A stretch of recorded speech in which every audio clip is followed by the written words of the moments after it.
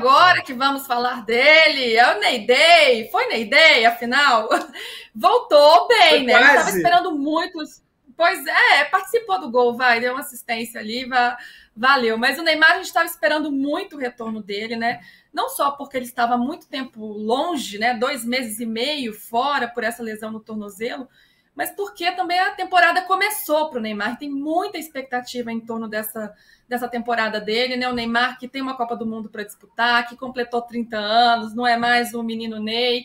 E a gente precisava ver como ele vai voltar, ele precisa dar uma resposta. Ele voltou, eu senti com fome, assim. Ele chegou, ele já cavou uma falta, ele participou do gol.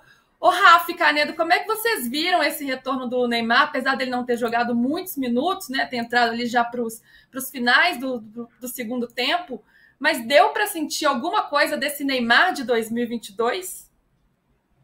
Voltou, se, se, me permitir, eu só ia falar que ele voltou respeitando que uhum. o Mbappé e o Messi estavam correndo o jogo inteiro, então voltou fechando linha bonitinho, né? Como tinha que ser, que às vezes quando os três não estão juntos desde o início não acontece.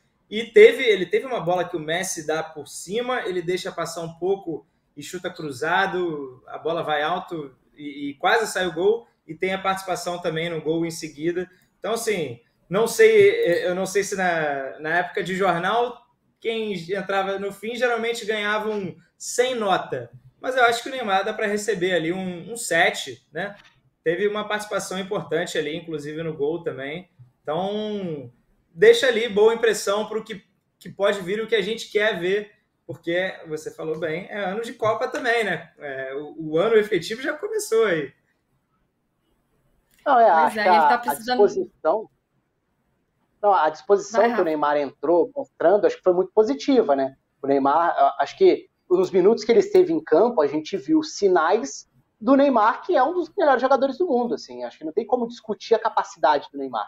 O Neymar é um jogador muito acima da média, ele se sobressai demais. Então, assim, é um cara que é, ele tem no repertório formas de atacar para destruir qualquer tipo de defesa, né? Seja conduzindo a bola por dentro, seja aberto, seja com drible, seja com passe, seja para finalização, seja para ser lançado ou para lançar. Então ele é um cara que consegue conectar ali muito bem com outras grandes estrelas que estão ao redor dele. Então, assim, é, acho que foi muito positiva a entrada do Neymar no fim do jogo. Acho até que teve uma deu uma nova faísca para o PSG. O PSG conseguiu crescer depois do pênalti perdido pelo Messi, acho que tem isso também, né?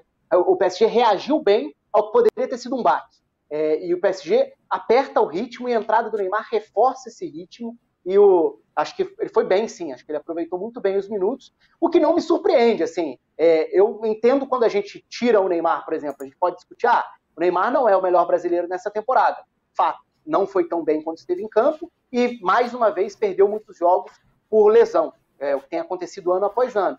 Mas, assim, o Neymar, na maior parte das vezes, é um jogador que vai muito bem e que é muito acima da média. Então, assim, não me surpreende o Neymar entrando da forma como entrou hoje, já sendo um protagonista ainda que só dos minutos finais.